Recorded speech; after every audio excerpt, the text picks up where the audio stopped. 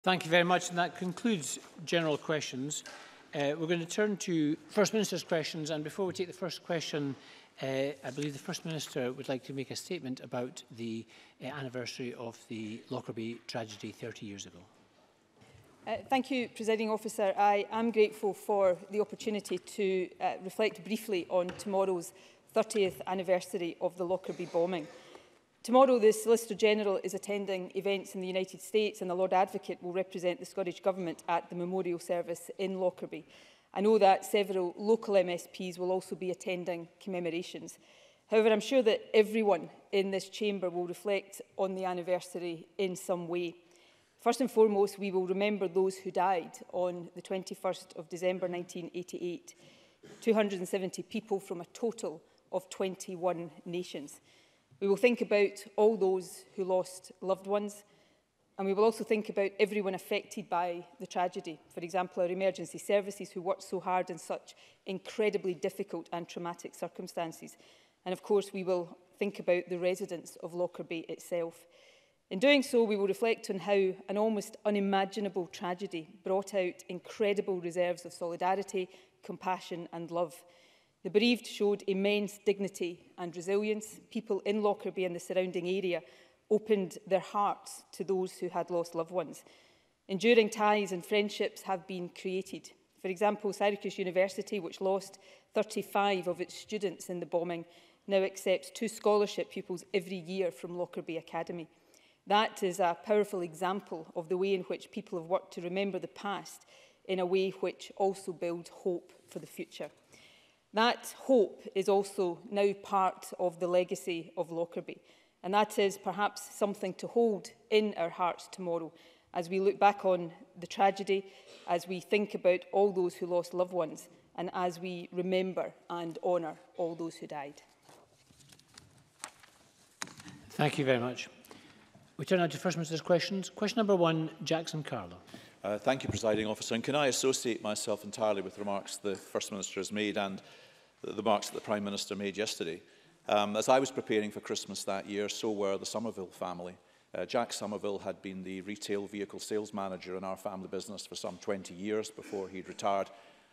I remember him with great affection. Yes, he had a sheepskin coat, like all the best used car sales managers. Uh, he was fond of a cigar. He was a big personality. He and his family were in the house in which the plane landed and were obliterated. And I know I and many of his former colleagues, along with all those who lost relatives and friends, uh, think fondly of them uh, each year when this anniversary comes around. Uh, presiding officer, punctuality in our train service reaching its worst point for 12 years. Hundreds of trains cancelled and shortages of staff because people are being trained to use the new class of trains, which are also delayed, causing another 100 services to be cut last month. Doesn't the First Minister think train passengers across Scotland are owed an apology? First Minister. Yes, yes, I do, and Scott Reel has made very clear uh, that they regret the cancellations and the delays that have been caused as a result. Let me be perfectly clear, the level of cancellations uh, this week in particular has been unacceptable. Of course, these have been due to a combination of factors, not least train crew shortages, but also a number of other issues infrastructure issues like Monday's signals failure at Perth have accounted for a significant number, uh, and these cannot simply be laid at the door of ScotRail. Tragically, we must also recognise that understandable knock-on disruption has followed the loss of life on the railways this week, and I'm sure the sympathies of everyone in the Chamber uh, go to the families and loved ones uh, of those who have died. That said, I want to be very clear that we've seen a significant and unacceptable number of delays that are clearly the responsibility of ScotRail uh, I can report to Parliament that cancellations of this type have fallen as the week has progressed from around 144 on Monday to an estimated 40 today. Uh, progress is being made, but it is not good enough. Uh, we expect, indeed we demand, better from the rail operator uh, and the Transport Secretary uh, continues to work closely with them to ensure that we continue to see improvements in the days to come. Jackson Carlo. Well, it's interesting because, in fact, we've got new official figures that show that since 2011, there have, in fact, been more than 35,000 cancellations or park cancellations caused entirely by ScotRail. That amounts to some 5,000 a year. And people want to know why this SNP government is failing to deliver. Let's just examine their record. Two years ago, the last time we had problems on the tracks, the then Transport Minister Hamza Youssef played the big man and hauled in ScotRail, threatening, and I quote, serious consequences. They were left in no uncertain terms that I expect improvement, he fumed. And yet what's happened since? Punctuality has fallen. And instead of serious consequences, Mr Yusuf has done a ministerial bunk to the Justice Department, where he's now clearing up the mess left by Mr Matheson, while Mr Matheson has swapped seats to clear up the mess left by Mr Yusuf. Talking tough, cabinet musical chairs, failing to deliver improvements, then giving in. Isn't that the record of this government on our rail network? First Minister. not sure the Tories are on particularly safe ground here, but we will uh, leave that to one side for the moment. Of course, uh, when Hamza Youssef, then the Transport Minister, uh, took that action uh, with ScotRail, we, we did see improvements. While I'm not standing here and saying that the performance of ScotRail is good enough, because it is not, in terms of punctuality in particular, the performance of ScotRail uh, is usually better than the performance of other uh, large train operators elsewhere in the UK.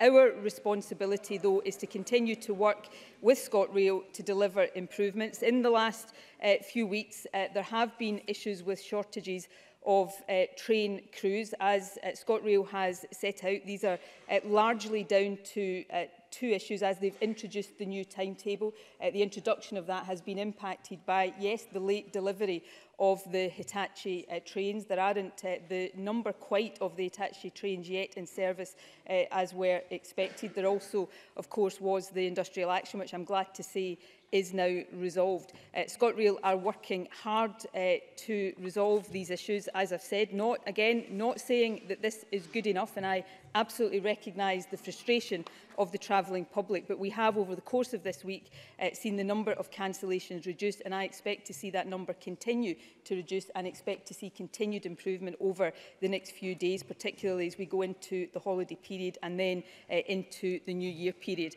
Uh, the Transport uh, Secretary uh, discusses these issues regularly uh, with uh, ScotRail. He spoke to both uh, the managing directors of ScotRail and Abellio earlier this week and made clear uh, the urgent need for improvement.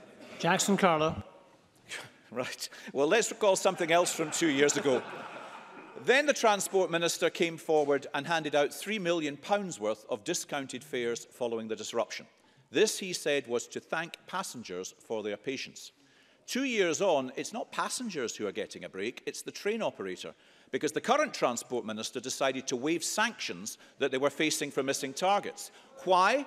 Because they would have breached the franchise agreement had the targets been kept in place. So, so, support for passengers one year, a bailout for train operators the next. Who is getting the better deal here, First Minister? Scotland's hard-pressed commuters or the owners of the rail franchise? Yeah.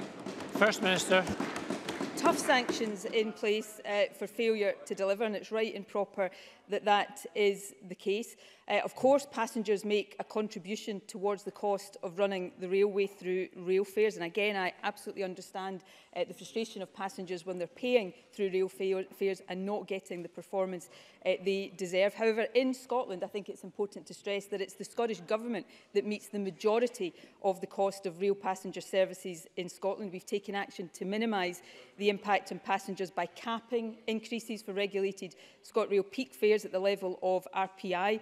Uh, regulated off-peak fare increases are capped uh, at 1% lower than inflation. And that means that in Scotland, average uh, rail fares increases are actually lower than they are in England and Wales. So we will continue uh, to do what we can uh, to keep the level of real, real fares as reasonable as possible and we will continue the work to invest in our railways uh, to improve the number and the quality of services and yes to ensure that ScotRail is taking the action it needs to take to resolve the difficulties that have been experienced in recent weeks. Jackson Carlo. Well, that was so downbeat, I don't think it'll be going faster than the slowest train. I mean, I'm afraid it's classic SNP. One minute they're talking tough, telling everyone they're going to sort things out. Two years down the line, when things have actually got worse, it's all somebody else's fault. And while passengers are still waiting, trains are late, and millions of pounds are lost to the Scottish economy. Ministers do have a role to play to hold management to account and to stand up for hard-pressed passengers. So as well as having, I hope, a very Merry Christmas, will she, what will she and her ministers do to ensure that in 2019 we have a railway network in Scotland that is fit for purpose? First Minister. the hard work to make sure that these issues are resolved, to make sure that ScotRail continues to perform better than other train operators elsewhere in the UK. Uh, we'll continue to take forward the work uh, to allow a public sector bid for the next rail franchise. And of course, uh, we will do what I would expect the architects of privatisation on the Tory benches uh, will oppose tooth and nail. We'll continue to argue for full devolution of all powers over the railways, so we're responsible for Network Rail as well as ScotRail, and so that this Parliament does have the opportunity to nationalise our railways and to undo the damage of privatisation caused by the Tories. Question number two, Richard Leonard. Uh, presiding officer, uh, can I associate uh, my party with the remarks made by the First Minister about the Lockerbie tragedy? I uh, recently visited the Drivesteel Cemetery in the Garden of Remembrance uh, to pay my respects and I found it to be uh, a very, very moving experience. Presiding officer, can I turn to uh, a question which um, I think um, is very topical because today our schools are getting ready to break up for the Christmas holidays. And can I remind the Chamber that back in October, the First Minister encouraged Scotland's teachers to write to her with any concerns that they had about Scotland's schools. So here is a comment addressed directly to the First Minister just last week from a school teacher in North Lanarkshire. She wrote, Despite what you have said yourself on many occasions, it is becoming clear that education is not a priority for this government. First Minister, is this teacher wrong? First Minister. Job uh, to demonstrate to her that that is not the case. Education is a priority for this government. That is why we are continuing to ensure investment in our schools. For the last couple of years, as we've uh, narrated in this chamber before. We've seen investment in our schools increase. We've also seen the action taken by this government through the Pupil Equity Fund to get more resources direct uh, to head teachers. We've seen in the statistics published last uh, week the rising uh, number of teachers in our schools. Uh, we're also seeing uh, evidence that the attainment gap in our schools is starting to close, as is the attainment gap in terms of access to universities. And of course, we see standards in our schools uh, generally continue to improve. So we will continue to do the hard work uh, to continue that progress uh, and to persuade that teacher and all of the other teachers uh, across uh, the whole of the country uh, that we value what they do uh, and that we consider education to be the top priority that it rightly is. Richard Leonard. Uh, presiding officer, the letter I quoted uh, is from a teacher called Esther. It was published in the Scottish Educational Journal. Esther is not only a lifelong SNP voter, she is also an SNP member and a local activist. But her concern about workload and the pressure on Scotland's teachers is now so grave that she writes of, and I quote, a crisis where schools are understaffed and asks you directly, First Minister, how can we close the attainment gap when our schools do not have enough teachers? And she is not alone. Dean, another teacher and another SNP member, wrote in the same journal, I hear the rhetoric that Scottish education is at the forefront of the Scottish Government's priorities, but see little evidence of this. presiding officer, when we raise concerns about education on behalf of teachers and parents, the First Minister chooses not to listen. Will she at least listen now to the grave concerns being openly expressed by members of her own party?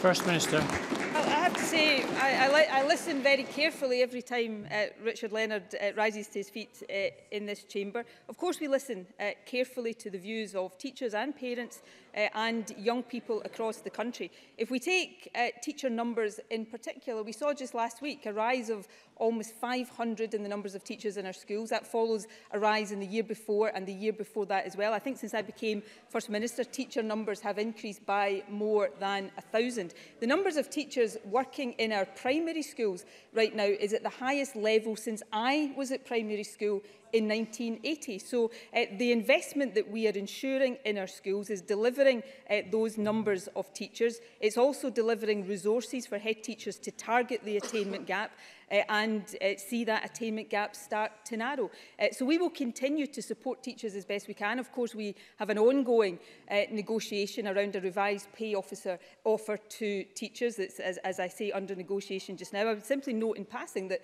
Labour councillors at COSLA uh, voted against last week making a revised pay offer uh, to teachers. Uh, so we want to support teachers by resources in the classroom, by numbers of teachers in the classroom and by making sure they're fairly and properly rewarded for the excellent job that they they do as well. So we will continue uh, as we go into the new year uh, in getting on with that job. Richard Leonard. Presiding officer, all I'm asking the First Minister to do is to listen to members of her own party. There are 3,000 fewer teachers in our classrooms than when the SNP came to power. No progress has been made in closing the attainment gap. And Scotland is facing its first teacher strike since Margaret Thatcher was in Downing Street. The First Minister tells us, again, she said this morning that education is her top priority. But parents don't believe that. Teachers don't believe that. And now even her own party members don't believe that either. So, presiding officer, can the First Minister tell us why anybody in Scotland should believe that education is her top priority? First Minister teacher, as I've just said, teacher numbers uh, are rising. Richard Leonard cannot deny that because the figures speak very clearly from themselves. As I said a moment ago, the numbers of teachers in our primary schools is at the highest level since 1980. I think the number of teachers overall is at the highest level since around 2010. So teacher numbers uh, are rising. We are seeing the attainment gap starting to close. It is simply not true for Richard Leonard uh, to say that that is not the case. And in terms of uh, the comment Richard Leonard uh, just made about the prospect of industrial action in our schools, uh, I do not want to see that happen and I will work as hard as I possibly can to avoid that. That's why, uh, thanks to SNP uh, councillors and others at COSLA on Friday, a revised offer on pay has been made to teachers. And I say again, and I ask Richard Leonard to reflect on this very carefully, Labour councillors at COSLA voted against a revised offer being made. If it had been down to Labour councillors at COSLA last week, there would be no revised offer to teachers on the table. And as a result of that, it would be the case that industrial action was closer. So perhaps Richard Leonard uh, needs to reflect on the actions of his own party, just as I will continue to listen to members of mine and to teachers across the country.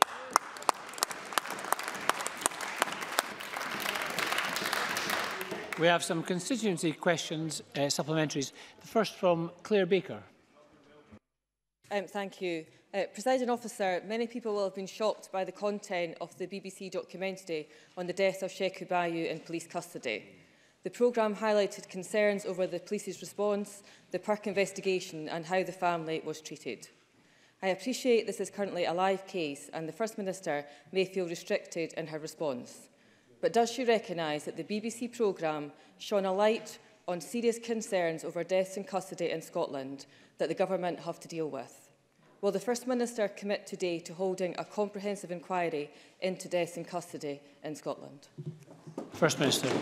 Can I thank Claire Baker for raising an extremely important issue. Can I also thank her for recognising that what I can say in response is restricted by the fact that this is uh, an ongoing uh, live uh, case.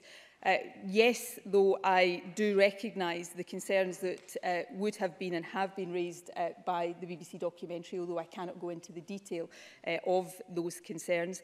Uh, however, in terms of the Sheiko Bio case, I, I want to uh, say a, a couple of things. Uh, I've said uh, these things, I think, before in the Chamber. Uh, firstly, as, and I'm sure I speak for everybody in the Chamber when I say uh, that my thoughts are very much with the family and friends of Mr Bayo as we approach Christmas at what will be an extremely difficult time time for them. In terms of a public inquiry into uh, that case and the more general issues raised by that case, as I've said before, that is absolutely not been ruled out uh, by the government. However, as Claire Baker is aware, the process to decide whether or not there will be a criminal prosecution in this case, which is a process uh, governed by the Lord Advocate completely independently of ministers, is not yet concluded.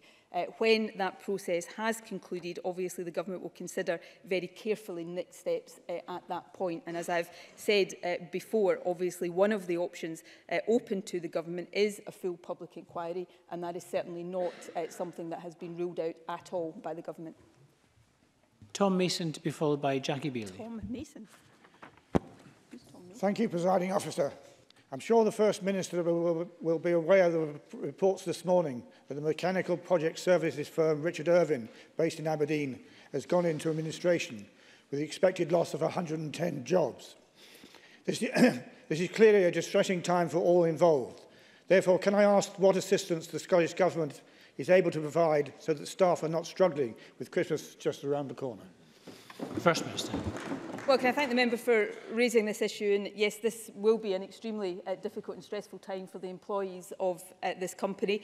Uh, in these circumstances, as the member will be aware, uh, the government's PACE initiative offers assistance to employees to look for alternative employment. But before uh, that, or often simultaneously with that, uh, the government is always keen to talk to companies to see uh, whether there is any action uh, we can take to help avoid uh, redundancy situations. So uh, I will ask the uh, Employment uh, Economy rather Secretary uh, to correspond uh, with the member about the actions the government is taking and uh, we will do everything we possibly can, not just in the run-up to Christmas, but after that to provide all possible assistance to those affected. Jackie Bailey to be followed by Jamie Green. The First Minister will be aware of the decision by Vertex to resubmit Orkambi to the Scottish Medicines Consortium and to submit Simkevi for the first time, and their very welcome agreement with the Scottish Government about access to Orkambi now for individual patients as part of the PACS2 process. So I want to place on record my thanks to the Cabinet Secretary for Health and her officials, the cross-party group of MSPs, including Alex Neil, Anas Sawa and Miles Briggs, and of course the Daily Record for their tireless support. I know the Gallicas and all the families are delighted and regard this as a wonderful Christmas present. Will the First Minister ensure that PAC's two requests are considered quickly and that there is no delay within health boards for people with cystic fibrosis to access the drug? First Minister. Well, I'm very pleased indeed to confirm to Parliament that Vertex Pharmaceuticals has agreed to make submissions for their cystic fibrosis medicines to the Scottish Medicines Consortium.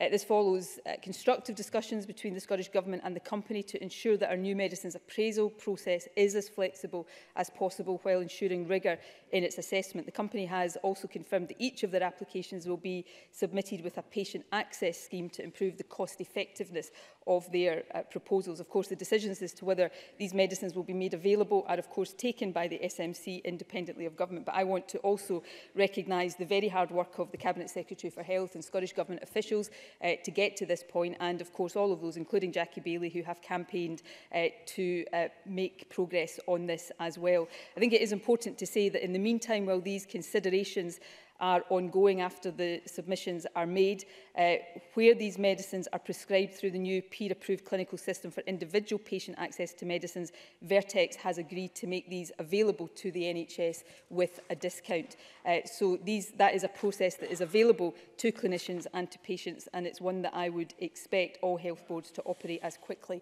as possible. But I hope uh, this is good news uh, that will be welcomed across the chamber, and particularly I know it is news that will be welcomed by the many families uh, that are affected by cystic fibrosis and Jamie Green.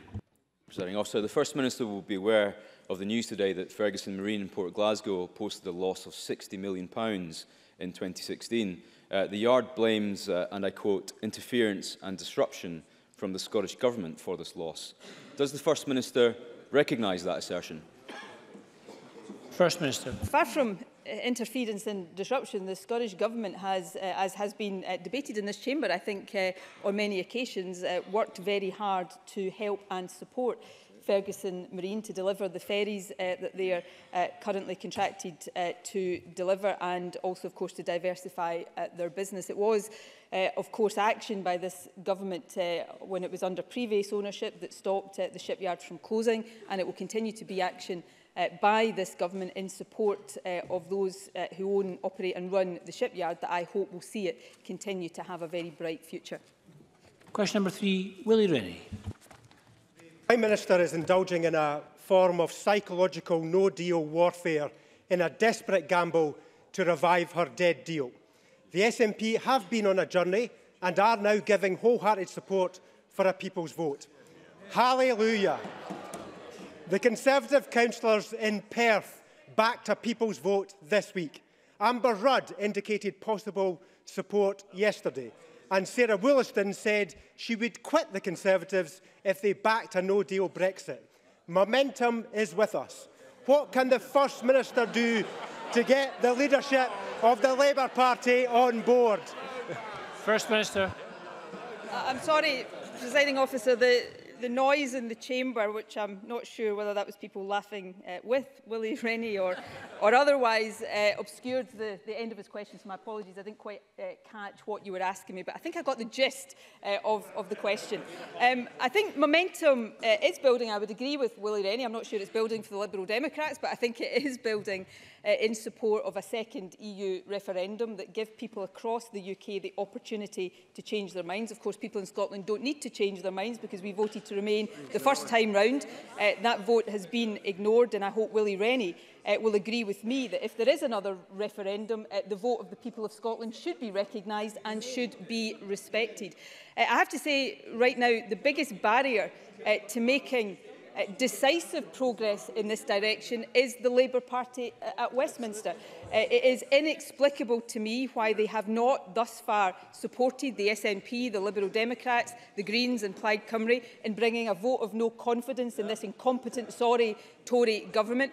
Uh, if that motion passed, we get rid of that incompetent government and if it doesn't pass, it forces Jeremy Corbyn to take a decision on a second EU referendum. So uh, perhaps instead of uh, constantly asking me uh, about this, Willie Rennie outside the chamber can put a bit more pressure, as I am doing, uh, on the Labour Party to try to get them off the fence into a supporting position. And then we perhaps in the new year can see the momentum towards a second referendum becoming unstoppable. Willie Rennie. Uh, with, with great foresight, the First Minister has anticipated my question. The, the, Labour Party, the Labour Party was once a beacon of hope in the world. Now the Labour Party isn't even a beacon of hope for the Labour Party. Chuka Amuna, Kezia Dugdale, Daniel Johnson, Ian Murray, they all back a people's vote. 86% of Labour members back a people's vote. I am sure the First Minister will be as frustrated as me with a Labour leadership that does everything it possibly can to avoid backing a people's vote. How many Labour supporters have to lose their jobs before the Labour leadership stands, understands there is no such thing as a jobs-first Brexit? How chaotic does Brexit have to get before Jeremy Corbyn and Richard Leonard get off their backsides and stand up to stop it? So what words can the First Minister find to encourage Labour to live up to their responsibilities? First Minister, First Minister, you may ask briefly, but can I suggest to Willie Rennie that the First Minister is not responsible for answering questions on behalf of the Labour Party? Very briefly, First Minister. I, I'm always happy to offer my services to the Labour Party if they they're looking for some real leadership, which they certainly desperately need right now. Um, I, I, think I'm, I'm, getting to like this new style Willie Rennie at FMQ, so we'll see if it continues into 2019. I, slightly struggling, though, to remember the days of Labour as a beacon of hope. It certainly hasn't been within my lifetime, so um, I, I, may have to, uh, to pause on that. But there is, there is a serious issue.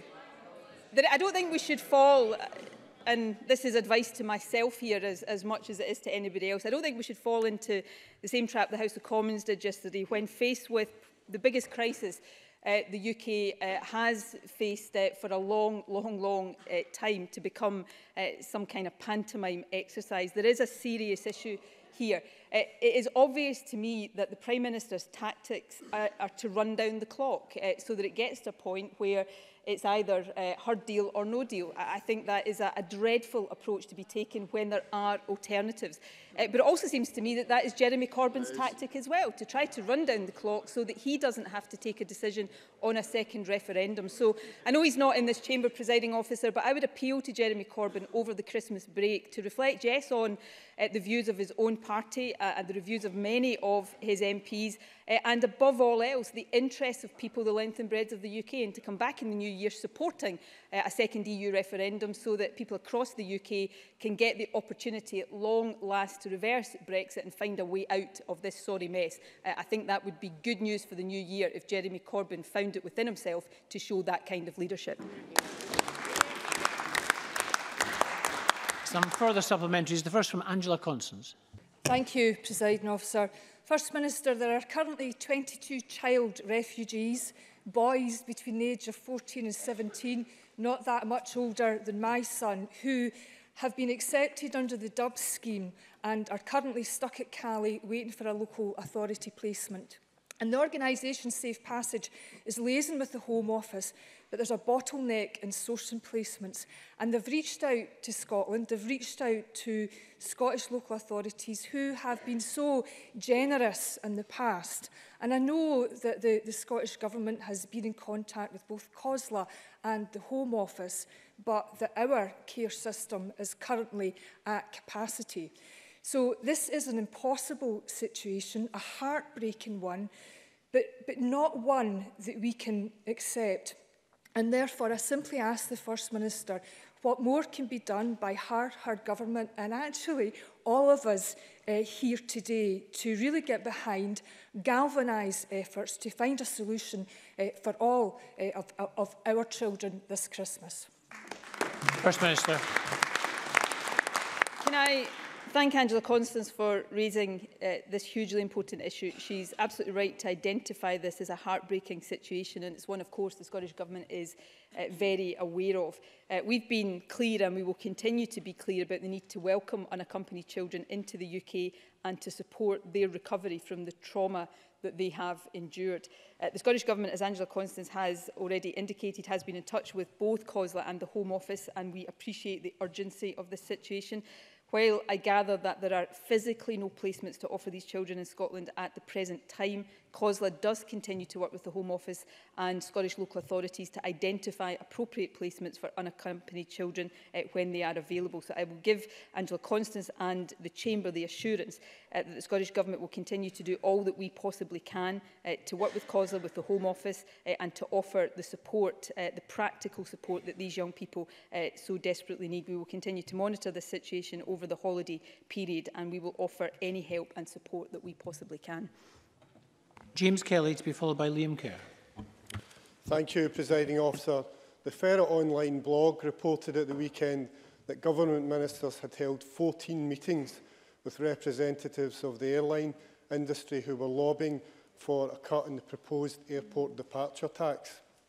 Uh, can the First Minister explain why, uh, when trade unionists lobbied this Parliament last week, no government minister was available to meet the lobby and yet government ministers are falling over themselves to meet uh, members of the, uh, the air, airport executives lobbying for a cut that would take money from the Scottish Government future budgets. First Minister. Firstly, of course, all uh, of Minister's engagements uh, are published uh, online, so there is uh, no secrecy uh, about that at all. Uh, ministers meet with a whole range of interest, I meet with uh, almost countless uh, numbers of individuals and organisations over uh, any given year. I, I would hazard a guess that if we weren't doing that, James Kelly would be one of the first to get to his feet and criticise us for not getting out there and meeting different interests. Uh, I meet with trade unions. All ministers meet with trade unions regularly. I uh, do the biannual uh, meeting with the STUC. We have a very good relationship with the STUC. We have a very good relationship uh, with individual trade unions unions. At times, uh, of course, that will be a re relationship with tension in it, as it is with all governments, as there are issues that we are trying to resolve. But this government uh, values and respects trade unions. We put fair work at the heart of our agenda, and we will continue to make sure that the views and the values of trade unions run strongly through everything this government does. And I hope we have the support, certainly from that side of the chamber, I'm not sure we'll have the support from the other side of the chamber uh, as we do that. But we'll also uh, meet with businesses, those who run our airports, interest in every corner of the country, because that's what an open, accessible, listening, engaging government does. And I'm proud that that is exactly what this government is. Liam Kerr. Thank you, Presiding Officer. A fortnight ago, I warned the Education Secretary that schools in the North East are at breaking point. And now, new Scottish Government statistics show that in the most deprived areas of Aberdeenshire, four out of every five S3 pupils are not reaching required levels of literacy. 14 years old, and they can't read and write to the expected level. Presiding Officer, the First Minister is not giving our kids a chance. After more than a decade of SNP government, will she apologise for failing so many Scottish children? First Minister. I think there's a, a huge amount of misrepresentation in the way that question uh, was asked. Of course, the figures we saw last week show uh, improvement in many of these areas of literacy and numeracy and also uh, is one of the sources of evidence that shows uh, the beginning of a narrowing of the attainment gap. And that is because of the efforts uh, that have been placed on that, uh, some of the initiatives uh, and progress that I spoke about in response to Richard Leonard earlier. Uh, so we will continue to do that that job to, to make progress and to support who, all those who work in our education uh, system. Uh, again, you know, we, we hear in this chamber uh, calls uh, to be fair to the member, he didn't call for more money uh, for education, but I'm sure uh, that's what he would uh, do, and it's what his colleagues do all the time. But let's remember that the Tories are the party who prioritise tax cuts for the richest in society over investment in our public services. And while that continues to be the case, not very many people, if anybody, are going to take the Tories at all seriously. Question number four, Joan McAlpine. Thank you. To ask the First Minister what the Scottish Government's response is to the outcome of the recent European Council summit. First Minister. The entirely predictable reaction of the EU 27 countries to the Prime Minister's position at last week's summit demonstrates uh, clearly that the UK government must now stop wasting time. We are now just over three months away from the date the UK is currently due to leave the EU. And it seems clear that as things stand right now, that the Prime Minister's deal will be rejected by the House of Commons and will not be renegotiated by the EU. Uh, the best outcome, in line with the views of the people of Scotland, is to retain EU membership, which is why we support another referendum, as I've just been uh, talking about to Willie Rennie. And it would be outrageous if the Prime Minister's plan uh, was instead to run down the clock to no deal. That simply must not be allowed to happen. Bill McAlpine. I thank the First Minister for that answer. Yesterday, the EU Commission released a number of papers uh, on no deal and uh, said that in the event of a no deal scenario, only basic connectivity would be maintained between Scotland's airports and the continent. Does the First Minister agree with me that we should, in such circumstances, we should revoke Article 50 to prevent a no deal? Yeah, yeah. First Minister. Joe McAlpine is absolutely right. My uh, position and view is very clear, uh, and I made this view clear to the Prime Minister yesterday in London.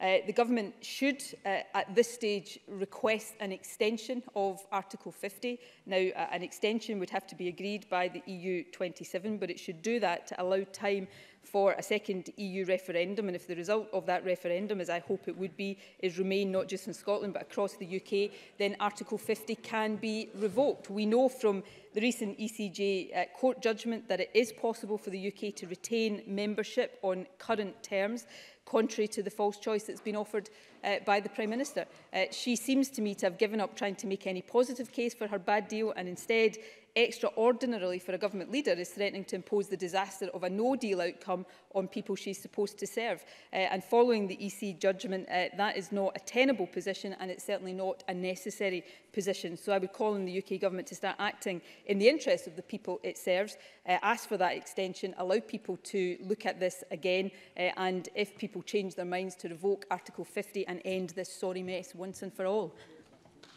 Question five, Graham Simpson. Thank you. To ask the First Minister by how much Council's core budgets will change under the draft budget.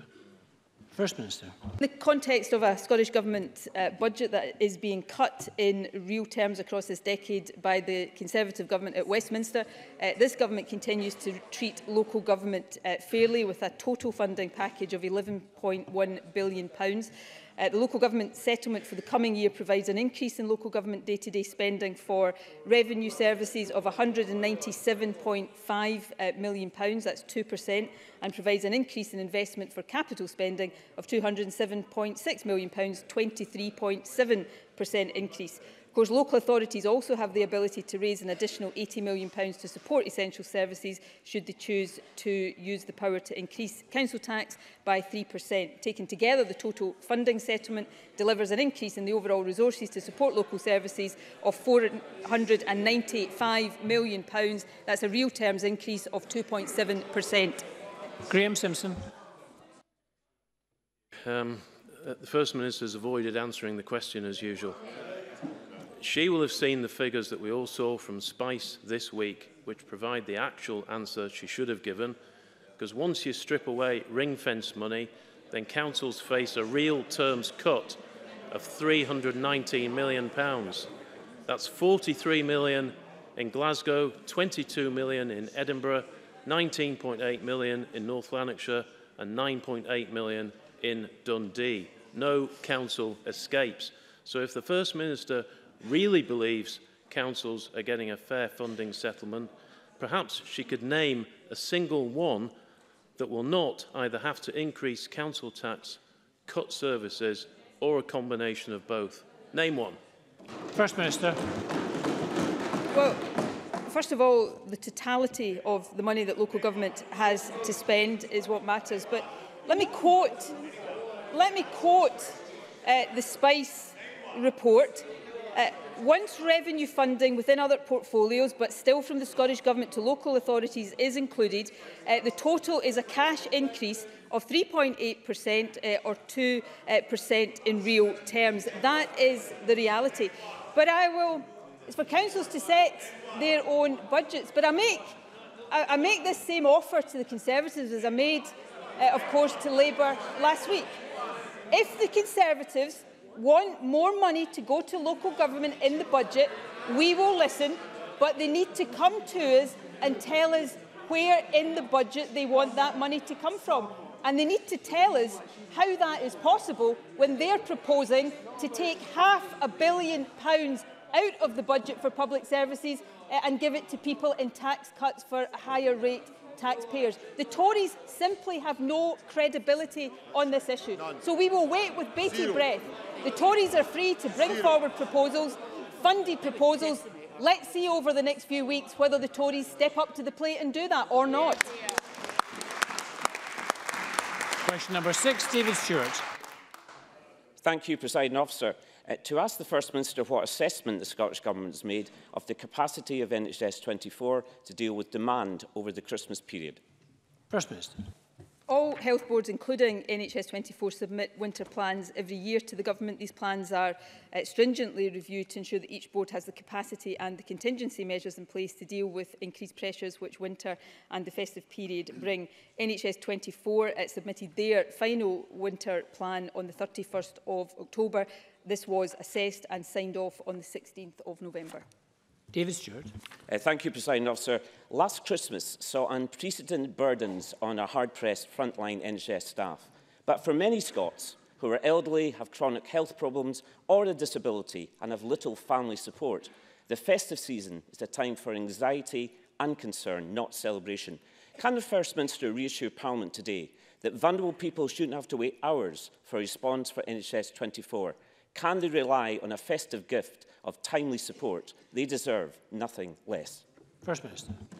I agree with that. It's important to note that NHS 24 continues to provide a very highly effective and safe triage system.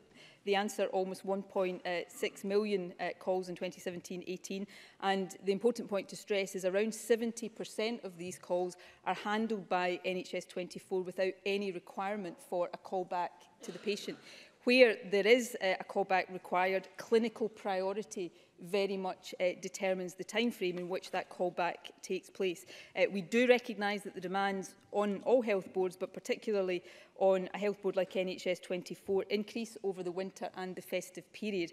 Uh, that's why we are ensuring that there are higher numbers of staff working uh, in NHS 24 over the peak festive period this year than uh, last year. I can tell the Chamber that the uh, number of call handlers uh, and nurses that will be working on Boxing Day mm-hmm. For example, uh, this year will be 458 compared to 397 last year and 373 uh, the year uh, before. Uh, so we will continue to work with NHS 24 to make sure that it provides the service that people uh, demand and expect. Claire Adamson. Thank you, Presiding Officer. One of the pressures on the ND e departments at this time of year is a result of an increase in trips, slips and falls. Can I ask the First Minister how the Scottish Government promotes safety, particularly to older people, during um, snowy and icy conditions? First Minister a very uh, good question, and uh, I can tell Claire Adamson in the chamber that we uh, always advise people, particularly the elderly, to take obviously extra care at this time of year. Uh, we encourage people to take sensible measures to prepare and to look out for their neighbours who might need an extra hand during periods of severe weather. Uh, the Ready Scotland website is a source of very useful advice Uh, on what to do to prepare uh, for icy weather conditions. And we can all play our part in giving the right advice to people, but also looking out for people who might need extra help over the winter period. And question number seven, Edward Mountain. Officer, to ask the First Minister whether the Scottish Government will acknowledge the people from across the country who will be working over the festive period to keep Scotland going. First Minister. Yeah, I'm very happy not just to acknowledge but also take the opportunity to thank on behalf of the Scottish Government and I'm sure the Scottish people, all those who will be working over the festive period, such as those in our emergency services, those who keep our transport moving and people in the hospitality sector, uh, to name just a few. We value very highly the contribution they make throughout the year However, at this time of year, it is particularly important to recognise their efforts in keeping Scotland going. I'm sure the whole Chamber will wish to join with me uh, to say a very big thank you to everyone working over the festive period. And although they may be working, uh, nevertheless, to wish them a very happy Christmas. Edward, Edward Mountain. thank the First Minister for that answer. And I also would like to pay tribute to the emergency service and public services working over the Christmas period, including NHS, fire, police, and I would also like to particularly mention the voluntary groups that are working over the Christmas period, such as Mountain Rescue Service, the Coast Guard, RNI and Samaritans. And I would be grateful if the First Minister could, could acknowledge the extra work that they'll be putting in over the festive period as well. First Minister. Um, I'm certainly very happy to do that. Volunteers, the length and breadth of our country, uh, make a huge contribution all year round, but